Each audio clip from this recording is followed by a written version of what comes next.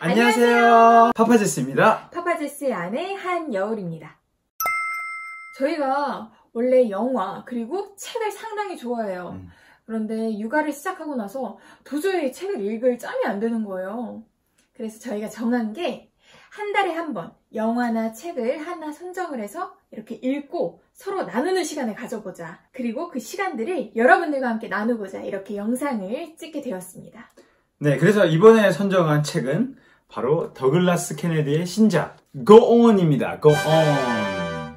자, 이 책은 여울이가 골랐는데요. 왜 이 책을 고르게 됐죠? 아, 우선 이 책의 작가 더글라스 케네디는 아주 유명한 베스트셀러 작가입니다. 네, 빅피처, 음. 더작 이 작품들을 시작으로 제가 더글라스 케네디의 팬이 됐어요. 음. 그런데 이번에 마침 신작이 나오지 않았습니까? 그래서 어, 아 어. 이번에는 고온이다. 이 신작을 우리가 빨리 읽고 빨리 리뷰를 하자라고 해서 제가 고온을 선정을 하게 되었어요.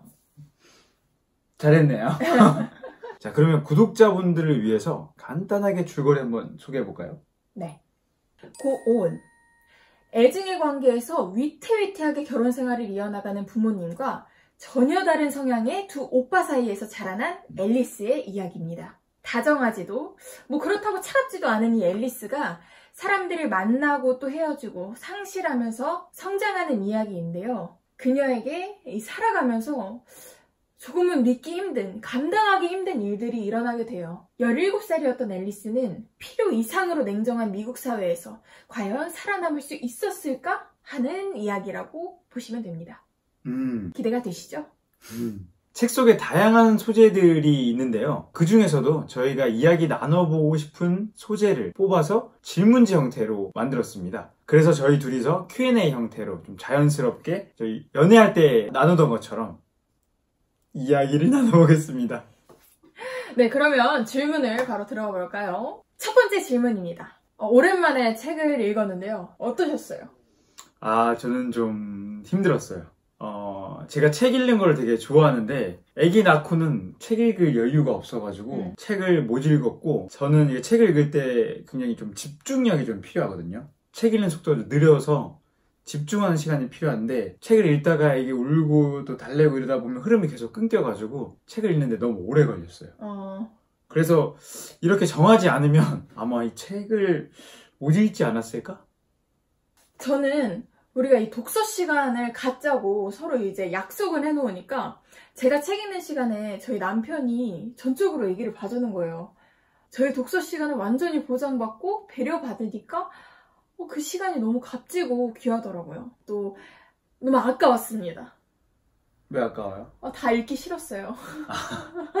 아기를 계속 남편이 봐줬으면 했었습니다. 다음 질문 가시죠. 네, 그럼 두 번째 질문으로 바로 넘어가겠습니다. 더글라스 케네디의 작품을 처음 읽었잖아요. 네. 작가의 첫인상이 저는 무척 궁금했어요. 아, 저는 더글라스 케네디가 빅피처가 되게 유명해서 익히 알고는 있었는데 제가 읽지는 않았어요. 제가 영미 소설을 별로 안 좋아하는데 이번 계기로 처음 어떻게 보면 현대 영미 소설을 접하게 됐죠. 근데 딱 읽어보니까 스케일이 좀 남다른 것 같아요. 어, 약간 뭐랄까 소설계 헐리우드? 어, 어, 그런 스케일? 헐리우드 소설. 어. 어, 그런 것 네. 같아. 아, 왜냐면 저는 일본 소설이랑 한국 소설을 좋아하는데 그 소설에는 찾을 수 없는 굉장히 큰 스케일이 있어요. 헐리우드급 이런 느낌. 맞아요. 특히나 이 고 온 작품이 음. 더 스케일이 남달랐던 것 같습니다. 남달라. 네. 저는 특징이 있어요. 장편을 못 읽어요. 아, 맞아, 맞아. 에세이파잖아요. 네, 전 에세이파라 장편을 소화해낼 수 있는 긴 호흡을 가지고 있지 않습니다. 그런데 더글라스 케네디 것만 장편을 소화할 수 있어요. 그게 왜 그러냐면 더글라스 케네디는 되게 경주 말을 채찍질을 하면서 달리는 듯한 아, 맞아. 좀 빨라, 빨라. 어. 전개가. 속도감 있고 되게 흥분되게 읽었습니다. 어. 이번에도 두 권짜리 장편 소설인데도 저는 3일 만에 완파를 했죠. 아, 또 여울이가 또 한속독 하죠. 한속독 씨. 이번에도 역시 아, 이 작가의 작품은 나랑 맞는구나. 음, 저는 느릿느릿 읽었습니다. 네, 세 번째 질문은 당시에 미국 시대적 상황, 뭐 동성애가 이제 막 사회적 음, 이슈로 음. 드러났다든지 아니면 자식과 부모와의 관계가 수직에서 조금 이제 수평으로 기우는 세대 간의 정치적인 성향이 상당히 극명하게 갈리는 뭐 이러한 시대적 배경들이 있잖아요. 그 미국 시대를 보면서 어떤 느낌이 들었나요? 이게 1970년대에서 80년이 시대 배경인데 지금 우리나라 시대 상황과 굉장히 비슷하지 않나. 음, 어, 그래서 과거지만 지금 우리나라로는 현재를 읽고 있는 다- 느낌이었고 어, 뭐 우리나라가 보수적인지 미국이 굉장히 뭐 진보적인지는 모르겠지만 저는 오히려 그래서 좀 일이 더 잘 됐던 것 같아요. 음, 40년 전의 미국 문화지만 오늘날의 우리나라와 상당히 흡사하더라고요. 맞아요, 맞아요. 이질감이 사실 없었어. 과거지만 뭐 현재랑 다를 게 없으니까. 오히려 이게 40년 전 미국이라고? 어, 이거 우리나라 지금 이야기 아니야? 어, 저는 이 작가가 시대적 배경을 상당히 구체적이고 되게 맛깔나게 묘사를 해놓잖아요. 음, 그래서 책을 읽는 동안에 당시 미국 사회에 제가 진짜 젖어든 것 같았어요. 그, 음, 그 배경을 살고 있는 사람 같았어. 음, 맞아, 맞아. 제가 또 미국 한번 가봤잖아요. 아, 여행으로 한 2주간 이제 미국물 좀 음, 먹었죠. 그랬군요. 음. 아, thank you. 아, 예, 예, 예, 예. 자, 다음 질문입니다. 네.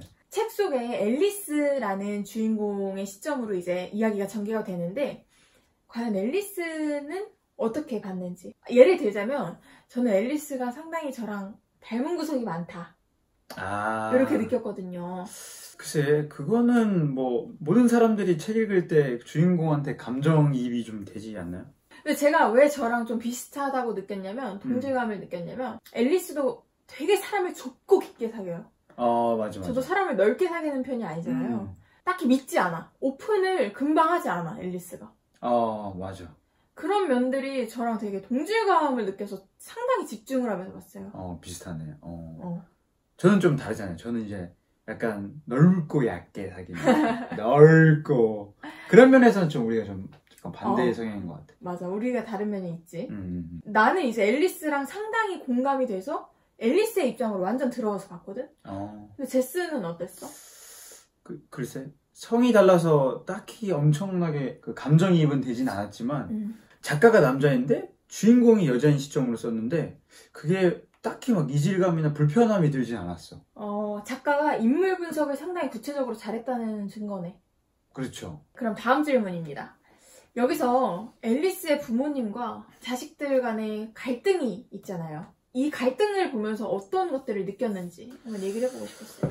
이 책을 읽으면서 느낀 거는 뭐냐면 이 소설이 시대적 배경을 잘 그려내잖아요. 네. 부모님이 살아온 시대 배경을 이해를 해야지 부모님을 좀 더 이해할 수 있을 것 같아요. 저희도 이제 자식이 생겼잖아요. 자식이 생기고 난 다음에 또 보니까 지금 내가 살아가는 시대 배경과 우리 로라가 살아가는 시대 배경이 또 완전히 또 다를 거기 때문에 이 다름을 인정하고 내게 옳다고 음. 강요를 하면 안 될 것 같다는 생각이 들더라고요. 아니면 나도 이 소설의 번스네 가족의 아버지처럼 그런 약간 꼰대 기질이 생기지 않을까. 어, 왜냐면 저도 주장이 되게 강한 사람이기 때문에 그래서 이 책을 읽으면서 부모님의 입장으로도 한번 생각을 해보고 자식을 보는 입장으로 내가 부모가 돼서 음. 이 입장으로도 한번 생각해보는 그런 계기가 되었습니다. 어, 예. 되게 말 잘하네. 아 그런가? 예 감사합니다. 예, 아, 끝내주는 멘트였어요. 예 감사합니다. 예. 그럼 다음 질문 가볼게요. 도덕적이진 않지만 해야 하는 일.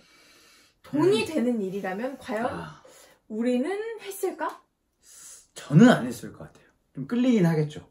살짝 유혹은 되겠지만 마음이 너무 불편할 것 같아요. 음, 그래서 음, 저는 안 한다. 어, 저는 안 한다. 마음 편하게 사는 게 낫다. 좀 없더라도. 제스는 자신있게 난 안 할 것 같아요 라고 할 수 있는 인물임이 확실해요. 옆에서 지켜본 결과. 네, 뭐 저는 막 그런 성격입니다. 막, 정말 예. 정의로운 사람이고 아, 감사합니다. 그런데 예. 저는 음. 자신있게 아니라고는 말 못하겠지만 음. 결국 아닐 것 같긴 해요.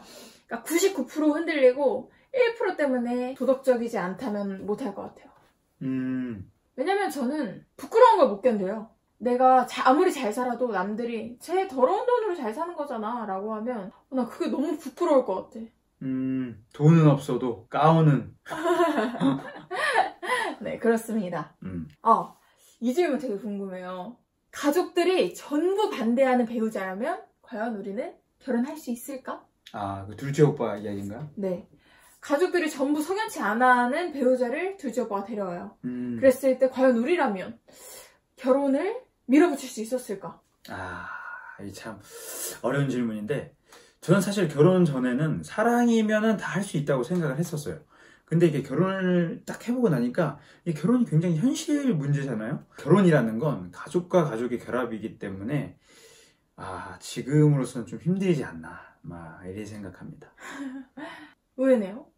저는 누구보다 나를 사랑해주고 나의 행복을 바라는 게 가족이잖아요. 그렇기 때문에 언젠가는 내가 사랑하고 내가 선택한 배우자를 가족들도 받아들여주지 않을까라고 생각을 해요. 음, 왜냐하면 우리 제스가 그랬거든요. 쉽지 않습니다 결혼하는 게 예. 현실적인 문제입니다 결혼은. 책 속에서 여러 인물들이 겪는 마음 아픈 일인데요. 과연 우리가 사랑하는 사람, 그러니까 우리 서로를 죽음으로써 잃게 된다면 제스는 과연 어떨 것 같아요? 여우리를 헐 개슬프겠죠. 어 이거는 상상하고 싶지 않은 그런 너무 슬플 것 같은데 안돼 안돼 안돼 안돼. 나 근데 어제 자면서 제스의 그 자는 뒷모습을 바라보면서 상상했어. 우리가 고온을 이제 리뷰해야 되겠다라는 생각을 했잖아. 음. 어제 자는데 수유를 하고 제스의 등을 딱 바라보면서 내가 뭐, 과연 이 사람을 잃으면 어떻게 살아갈 수 있을까? 이 생각이 드는 거야. 어. 아, 나는 아마 정신과 치료를 오랫동안 다녀야 되지 않을까 싶어요. 어. 왜냐면 우리가 결혼을 하고 난 다음에 음. 둘이 모든 걸 같이 해. 정말 화장실 갈 때만 빼고 모든 걸 같이 하고 내 삶의 의미, 당신의 삶의 의미가 정말 서로가 되었잖아요. 맞아. 난 제스를 만약에 잃는다면 새로운 삶의 의미를 찾아서 죽도록 노력해야 될 것 같아. 나보다 하루만 늦게 죽어요. 아프지 말고 행복하게 삽시다. 그러자. 음. 먼저 죽으면 죽여버릴 거야. 살려주소. 어 무서워.